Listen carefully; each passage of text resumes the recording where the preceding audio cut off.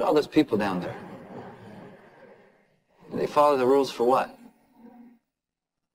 They're letting fear lead them. What happens if they don't? Life's simple. You make choices and you don't look back.